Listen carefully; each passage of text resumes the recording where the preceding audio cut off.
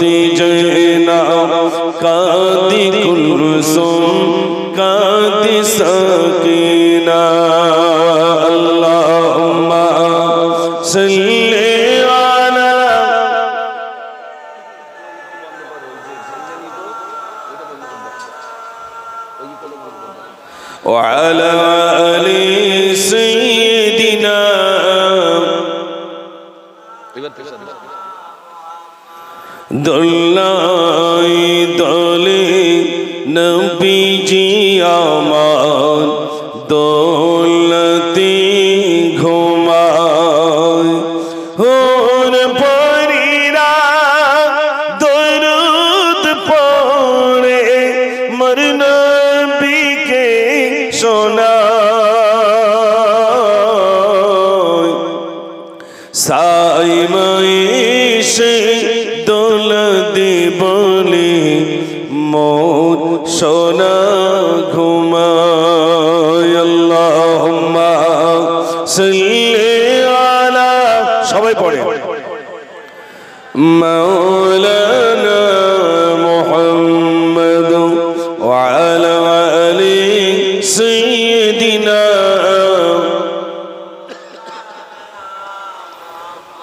রাত তো বারোটা পার হয়েছে। একবার আপনাদের সোনার মন মানসিকতা কেমন একবার দেখি।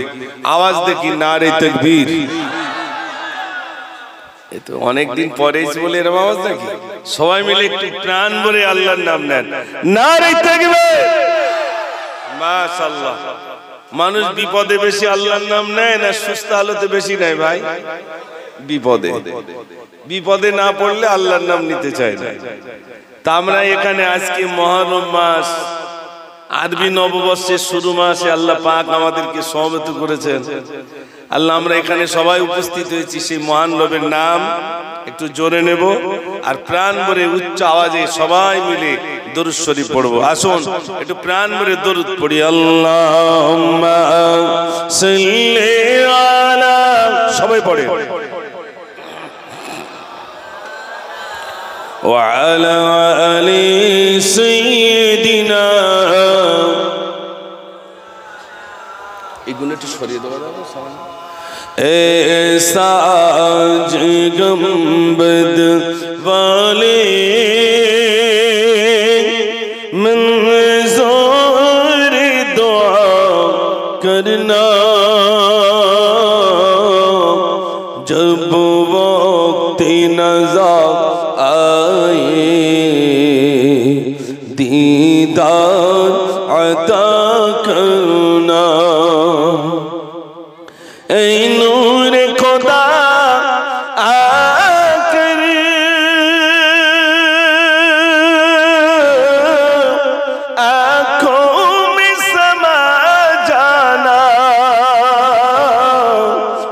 قدر پہ بلا لینا۔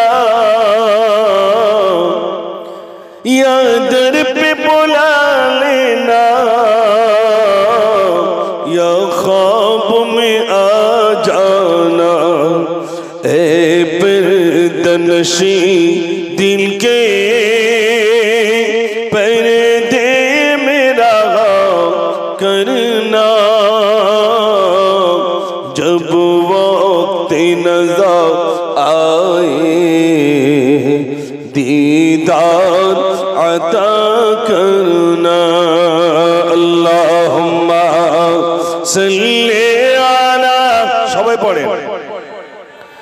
مولانا محمد وعلى علي سيدنا قل قلما ذكر قول لا إله إلا الله لا إله إلا الله لا محمد رسول الله حسبي ربي جل الله. ما في قلبي غير الله. نور محمد صلى الله. حق لا إله إلا الله. لا إله إلا الله.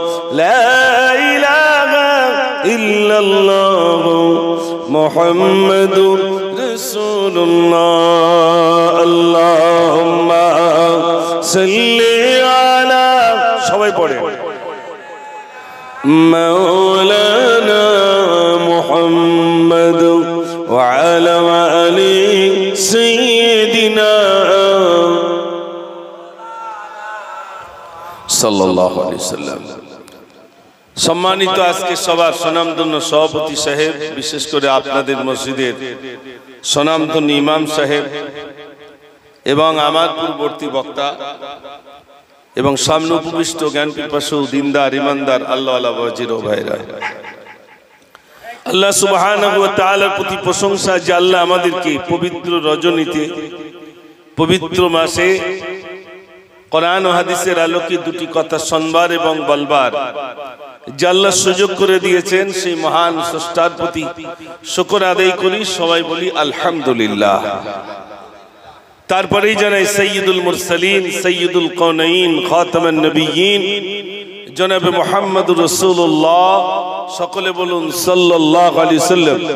তানার প্রতি অগণিত দরুদ ও সালাম বর্ষিত হোক, সকলে বলুন আল্লাহ আমিন। আমি আলোচনার প্রারম্ভে আমার পিছনের যে সমস্ত বন্ধুরা আছেন, সামনের চেয়ার খালি। একটু যদি আগে আসতেন, ভালো হতো। একটু একটু আগে আসবেন, যদিও রাত বেশি হয়েছে, আমি আপনাদের কষ্ট দিতে রাজি নেই। আমি আপনাদের কষ্ট দেব না।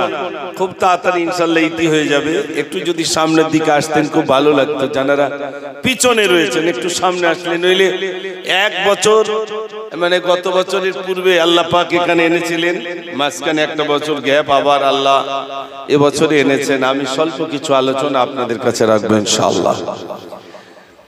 আমাদের জানতে হবে এই মাস্টার বিশেষ করে এক থেকে দশ তারিখের ভিতরে আমাদের করণীয় কি?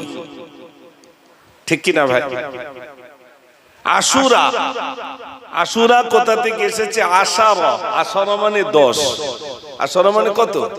দশ। ইংরেজিতে টেন বলে বাংলায় বলে দশ আরবিতে বলে আশারা আশারা মানে দশ। আশারা থেকে আশুরা। বাংলায় যেমন গণনা আছে, এক, দুই, তিন, চার, পাঁচ, ছয়। ইংলিশেও আছে one two three four five six seven eight আছে। ঠিক আরবি তো এরকম আছে, ওয়াহিদ, ইসনান, সালাসা, আরবা, খমসা, এরকম আরবিতে গণনা। তো আরবিতে যে গণনা আছে, আজকে আমরা যে রাতটাকে উদযাপন করছি, এই যে রাত, এটা হলো আশুরার রাত, তার মানে আশারা, দশ তারিখ। এই রাতে কি হয়েছিল আমরা অনেকেই মনে করি। বুর্জি কারবালার প্রান্তে শুধু হজরতে হুসাইন নদী আল্লাহ শহীদ হয়েছিলেন বলেই এটা আশুরার রাত। তাই নাকি ভাই? না। আসলে আমাদের জানতে হবে, শুধু মুজাফফরের বক্তব্য শুনলে হবে না। আমি আলোচনা রাখলাম, আপনার শুনলেন না? হুজুর ওই বলেছি। বসিরাট বলেন মৌলানা বাকি বলেন, যখন ইসালে সব হয় হালুয়ার দোকানে বেশি ভিড় হয় না কেতাবের দোকানে বেশি ভিড় হয় ভাই? হালুয়ার দোকান। মানুষ জানে, খাব, তা শিখব না। কেতাব কিনবো না, পড়ব না। হালুয়া খাব, ছেলের জন্য নিয়ে যাব। আমাদের এই মাসে করণীয়টা কি? এই মহারম মাসটা কি এটা আমাকে আপনাকে জানতে হবে। এই মাসটা হলো ভাঙা গড়ার মাস। কেমন মাস? আল্লাহ রব্বুল আলমিন এই যে আপনারা ক্যালেন্ডার দেখেন বাংলা ক্যালেন্ডার ইংলিশ ক্যালেন্ডার যেগুলো দেখেন এর একত্রিশে এবং বত্রিশে মাস আছে। আছে না ভাই? বত্রিশে মাস। আছে। কিন্তু আরবিতে কোনো বত্রিশে মাস নেই। উনত্রিশ নইলে তিরিশ। দেখবেন যখন উনত্রিশ তারিখে চাঁদ না দেখা যায় মানে রমজান মাসে, উনত্রিশ তারিখে আপনি চাঁদ দেখতে পাননি। কিতাবে এসেছে, যদি উনত্রিশ তারিখে চাঁদ না দেখতে পান, তাহলে তিরিশ কি করতে হবে? পূর্ণ করতে হবে। তার মানে তিরিশ হয়ে গেলে তারপরের দিন কি করতে পারবেন? ঈদের নামাজ পড়তে পারবেন। এখানে আর একত্রিশ তারিখ নেই, বত্রিশও নেই। আরবি আল্লাহ রাব্বুল আলামিন এই গণনা একেবার শুরু থেকেই করে দিয়েছেন। চাঁদ দেখা গেছে, তো চাঁদ উঠেছে এক তারিখ, আর যখন ওই চাঁদ ডুববে, অর্থাৎ ঠিক হয় উনত্রিশ, নইলে কত? তিরিশ তারিখ। রাব্বুল আলামিন আমাদের জন্য কি সুন্দর ব্যবস্থাপনা করে দিয়েছে এবার আসো, আল্লাহ রাব্বুল আলামিন এই মাসেই হজরত আদম আলী ইসলাম তিনি হলেন আমাদের আদি পিতা। তিনি হলেন আমাদের পিতা। হজরত আদম আলী ইসলাম তিনি হলেন পিতা। হজরত আদম আলী ইসলাম থেকে নিয়ে হজরতে নূহ আলী ইসলাম পর্যন্ত। হজরতে নূহ আলী ইসলাম পর্যন্ত। ভাইর আমার, আপনারা সবাই জানেন যে প্লাবনে সব শেষ হয়ে গিয়েছে প্লাবনে সব শেষ হয়ে গিয়েছিল। সেই কিস্তিতে মাত্র চল্লিশ জোড়া মানুষ উঠেছিলেন। কিতাবের ভিতরে এসেছে, কেউ লিখেছেন পঞ্চাশ জোড়া, কেউ লিখেছেন চল্লিশ জোড়া। মানুষ আপনার ওই কিস্তিতে রাখা হয়েছে। এই কিস্তিতে শুধুমাত্র প্লাবনে সব শেষ হয়ে গেছে। এই কয়েকজন মানুষ, কিছু মহিলা আর কিছু জীব জন্তু জানোয়ার নিচের তলায়, এটা থেকে নিয়েই ভাইরা আমার হজরত ইব্রাহিম আলী ইসলাম যিনি আমাদের দ্বিতীয় পিতা। হজরত ইব্রাহিম আলী ইসলাম তিনি হলেন আমাদের পিতা। হজরতে আদম থেকে নিয়ে ইব্রাহিম আলী ইসলাম পর্যন্ত সব শেষ হয়ে গেছে। হজরত ইব্রাহিম হলেন আমাদের দ্বিতীয় পিতা। এই যে মাস, মহারম মাস আদম আলী আল্লাহ রব্বুল আলমী যেদিন সৃজন করেছিলেন, তৈরি করেছিলেন, সেটাও ছিল মহারম মাস। একটু জোরে বলুন না মা হাওয়া আলী ইসলাম এবং আদম নবীকে আল্লাহ রব্বুল আলমী জান্নাতে রাখলেন। জান্নাতে রাখার পরে আল্লাহ বললেন যে ওই গন্ধম গাছের ধারেও যেও না, ফল ফল খাওয়া তো দূরের কথা।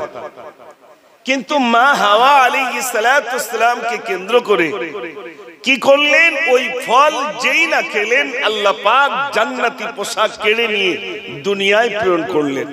হজরত আদমকে একদিকে রাখলেন, মা হাওয়া আলী ইসলামকে একদিকে রাখলেন। আদম নবী এবার আল্লাহর কাছে কাঁদছেন।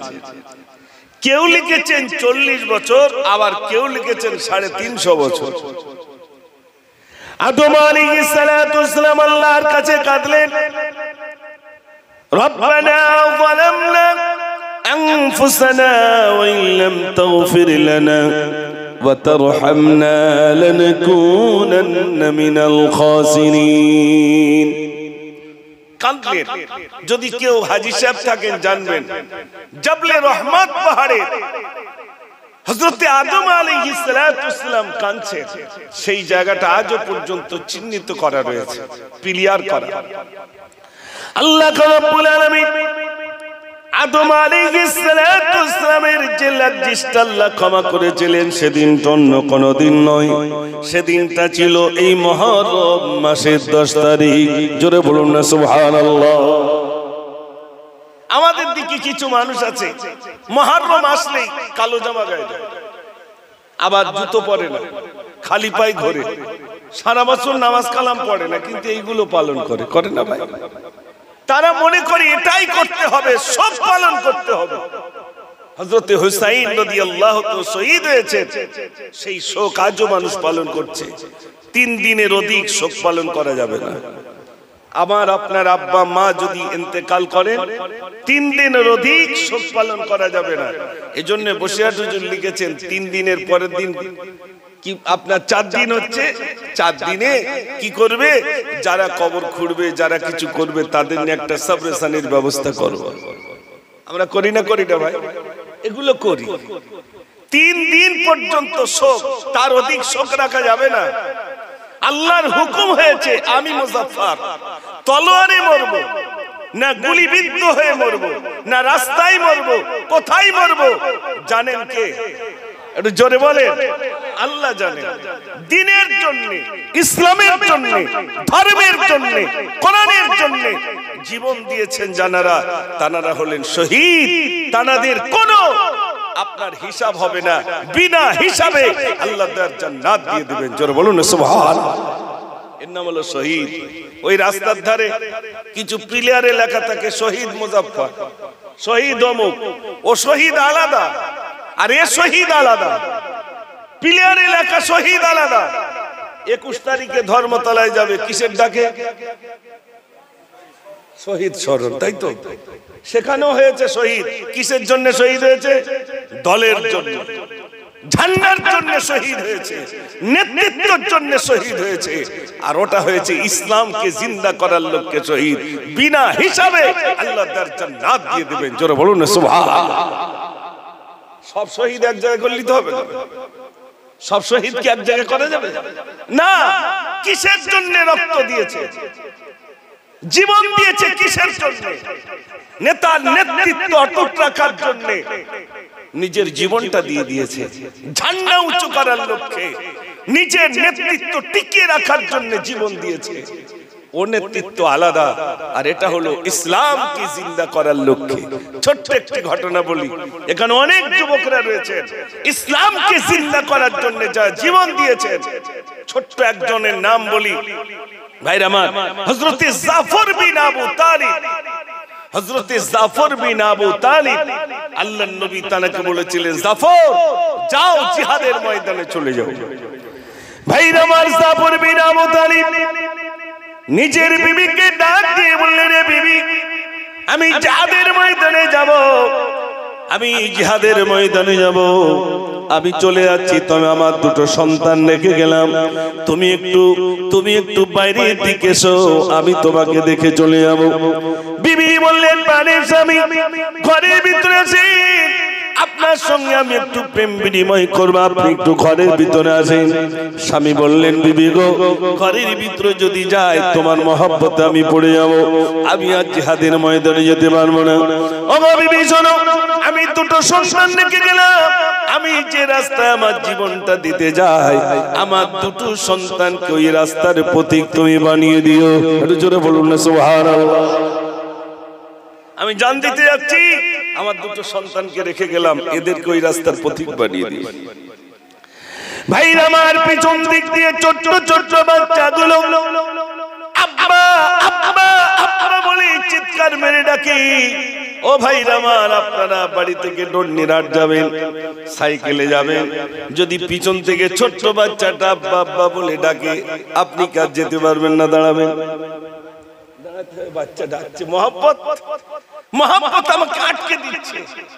হ্যাঁ এত বলছি তুই বাড়ি থাক, না আমি যাব। ছোট্ট বাচ্চা বাব্বা বলে ডাকছে, পিছনের দিকে তাকালেন না, চলে গেলেন জিহাদের ময়দানে। হযরতে আব্দুর রহমান বিন তিনি বলেন, আমি নজর করে দেখলাম কে যেন ইসলামের পতাকা উঁচু করে রেখেছেন? গুটি গুটি পায়ে গেলাম। আমি দেখলাম, হঠাৎ যখন ঝান্ডা উঁচু হওয়ার পূর্বে হঠাৎ করে দেখলাম জাফর বিন আবু তালিম আমার কাছে এলো। এসে জিজ্ঞাসা করছ আব্দুর রহমান, আমার নাকি কোন জান্নাতে শুকরান আমি পাই, তুমি আল্লাহর নবীকে বলে দিও। জাফরের হাত কেটে নিয়েছে, জাফরের পা কেটে নিয়েছে। তবু ইসলামের পতাকা মাটিতে ফেলতে দেয় নাই, তুমি একটু বাণী বলে দিও। আমার সালামটুকু আল্লাহর নবীর কাছে তুমি পৌঁছে দিও। হযরত আব্দুর রহমান বলেন, আমি নজর করে দেখলাম, কে যেন ইসলামের পতাকা উঁচু করে রেখেছেন।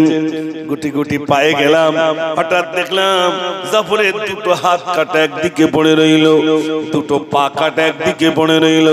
নজর করে দেখলাম, এই বডিটা কাটা একদিকে পড়ল, আমি আরও নজর করে দেখলাম, শুধু মাথা কাটা একদিকে পড়ে রয়েছে। যেদিকে মাথা কাটা রইল, আমি নজর করে দেখলাম, ইসলামের পতাকা দাঁত দিয়ে কামড়ে ধরে। উঁচু করে রেখেছে। জোরে বলুন না সুভা মাথা কাটা একদিকে পড়ে, ঝান্ডা মাটিতে ফেলতে দেয়নি, দাঁত দিয়ে উঁচু করে রেখে দিয়েছে। জীবন দিয়েছেন ইসলামের জন্য। রক্ত দিয়েছেন ইসলামের জন্য। মাথায় টুপি অত সহজে উঠেনি। মুখে দাড়ি অত সহজে আসেনি। সাহাবায়ে কেরাম আজমাইনগণ তানাদের অনেক আজ আমাদের মাথায় টুপি উঠেছে। অত সহজ নয় ভাই। ইসলাম অত সহজে আসেনি।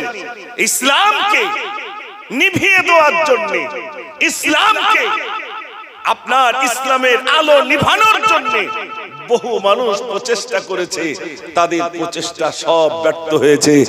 যত চেষ্টা করেছে ইসলাম তত জিন্দা হয়েছে। জোরে বলুন না সুবহান ভাইরা আমার কারবালার যে করুণ ঘটনা এই ঘটনা ছিল একেবারে নিজেদের একেবারে বলা যায় ঘরের ঘটনা। এই নিয়ে যদি কেউ শোক এই নিয়ে যদি কেউ নিজেদের ভিতরে শোক এবং তা নিয়ে যদি মাতম করে, বলা হচ্ছে এটা একেবারে হারামের পর্যায়ে তো চলেই যাবে, এমনকি সেটা বেদাত শির্ক হয়ে যাবে ভাই। এগুলো করা যাবে না। বেদাত কাজ করা যাবে না। আজকে আমাদের করণীয়টা কি? আমাদের করণীয় হলো এই মহারমে দুটি রোজা রাখা। একটি হলো ন তারিখ, একটি হলো দশ তারিখ। কিংবা দশ তারিখ এবং এগারো তারিখ। আগে এবং পরে। যদি আগেরটা করেন মিডিলটা করুন দুটো। তারপরেও যদি এই দুটো না পারেন, প্রথমটা যদি না পারেন লাস্টে এই দুটি রোজা রাখবেন। আল্লাহ রসুল সাল্লাহ সাল্লাম বলেন, যে পূর্বে ছিল, এই রোজাটা সকল নবীদের জন্য ছিল ফরজ।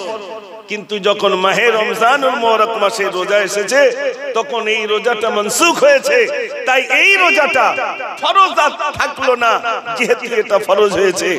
যদি কেহ এই রোজা রাখে রসুল বলেছেন, তোমরা একটা রেখো না, ইহুদিরা একটা রোজা রাখে, তোমরা দুটো করবে। যদি একটা করো, ইহুদিদের অনুকরণ হয়ে যায়। তাই তোমরা দুটো করে রোজা রাখবে। এটা রসুল করিম সাল্লাম আদেশ করেছেন। যদি কোনো ব্যক্তি দুটি রোজা রাখে, মহারম মাসে, অর্থাৎ মহারমে আশুরার রোজা। যদি দুটো কোনো ব্যক্তি করে তা পূর্বে এক বছরের সগীরা গোনা ছোট ছোট গোনা আল্লাহ রাব্বুল আলামিন ক্ষমা করে দেবে। জোরে বলুন সুবহান। কি রাখলে ক্ষমা হবে ভাই? রোজা রাখলে। মিলাদ দিলি ক্ষমা হবে তো? তাহলে রোজা রাখলে ক্ষমা হবে। এখন কজন মানুষ রোজা রাখতে পেরিস রোজা রাখিনি বলো? তাহলে রোজা রাখলে বিগত এক বছরের ত্রুটিগুলো ক্ষমা হবে। আমার কথা বুঝতে পারছেন তো ভাই? আর কি? আর করণীয় কি? আপনারা দেখেছেন পয়লা জানুয়ারি আর পয়লা বৈশাখ। ডন্ডিরহাট বলেন আর বসিরহাট বলেন পোলট্রি ঝাঁকে ঝাঁকে আসে। আর গরু তালপুকুর বলেন বিভিন্ন জায়গায় বলেন সেই ভোরবেলার থেকে তিনটের থেকে গরু জবাই শুরু হয়ে যায়। কেন? না সব লাইন পড়ে যাচ্ছে পয়লা জানুয়ারি আর পয়লা বৈশাখ। মায়েরা পর্যন্ত স্মরণ করিয়ে দেয়। পয়লা বৈশাখ, একটা যদি গোশ না খায়, তা লোকে কি বলবে? সারা বছরটা কেরাম জানান? তার ঠিক নেই। এটা বলে না এটা কারা তৈরি করেছে? আসল কথা, এই মহারমে আশুরার দিনে, অর্থাৎ এক থেকে দশ তারিখের ভিতরে, কোন ব্যক্তি যদি তার বাড়িতে নিজের সন্তানদের জন্য ভালো কিছু ইন্তজাম করে খাওয়ার ইন্তজাম করে নিজের আহলি বাইদের জন্য আল্লাহ নবী বলছেন, তার এক বছর রুজিতে কোনো অভাব হবে না। একটু জোরে বলুন না, সুবহানাল্লাহ। আমার কথা বুঝতে পারছেন ভাই? বাড়িতে নিজের সন্তানদের জন্য যদি ভালো কিছু ইন্তজাম করেন, এক বছর রুজিতে অভাব হবে না। আমরা ওটা করি না। আমরা ওগুলো করি না। তাহলে আমার করণীয় যে কাজগুলো, তা থেকে আমি বঞ্চিত হলাম। বরং কি করলাম? যত বেদাতি কাজগুলো আমি আমার জীবনে আঁকড়ে ধরলাম, কোথায় লাঠি খেলা আর কোথায় ঢোল পিটান। ইউটিউব খুলে দেখেন। আমাদের ইন্ডিয়ায় কি হচ্ছে বলতে পারব না, তবে বাংলাদেশে একদম সর্বনাশ হয়ে যাচ্ছে। বাংলাদেশে দাড়ি রেখে দাড়ি রাখার পরেও লাঠি খেলার হিড়িক দেখেন ইউটিউব খুলে দেখেন সব লাইভ চলছে। সব লাইভ চলছে। আর এক ব্যক্তিত্ব সে কি একটার নাম, সে তো পরিষ্কার বলে দিচ্ছে তার বক্তব্যের ভিতরে যারা নামাজ কালাম পড়ে, তারা আমার কাছে তোমরা এসো। নামাজ নাকি কোরআনে নেই? এখনও পর্যন্ত বেঁচে কি করে বাংলাদেশে? এটাই তো আপনার চিন্তা হয়, এই মানুষগুলো বেঁচে আছে কি করে? যারা ইসলামের উপরে আঘাত আনছে, এই মানুষগুলো কীভাবে বেঁচে রয়েছে? বরং যারা ইসলামের পক্ষে, যারা কোরআনের কথা বলে, যারা হাদিসের কথা বলে, তাদেরকেই বন্দি করা হচ্ছে। আর যারা ইসলামের বিরুদ্ধে কথা বলছে, তাদেরকে সিংহাসন দেওয়া হচ্ছে। বড় দুঃখের কথা বলছি ভাই। আজ আপনার এখানে যারা এসেছেন আমি বলব মহরম মানে এই নয় যে কারবালার করুণ কাহিনী শুনে চোখ দিয়ে পানি ফেলবেন এটার নাম মহরম নয়। মহরম একটি আরবি নববর্ষের নাম। আরবি মাসের নাম হলো মহরম। আমরা এটা বুঝি